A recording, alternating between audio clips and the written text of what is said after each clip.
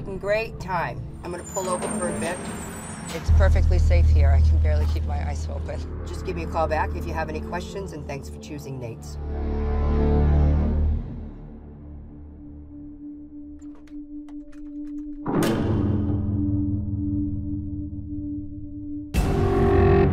I need to call the police.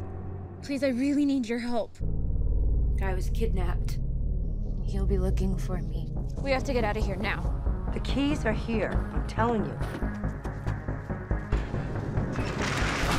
We should be safe as long as we stay put, I guess. Listen. He's here. She left. Oh, yeah? Where did she go? I mean, she's not in trouble or anything. We just want to talk. You don't know what he's capable of. You mind filling me in on what's actually going on? It all happened so fast. I, I'd rather die than go back there. We need real help. Light out.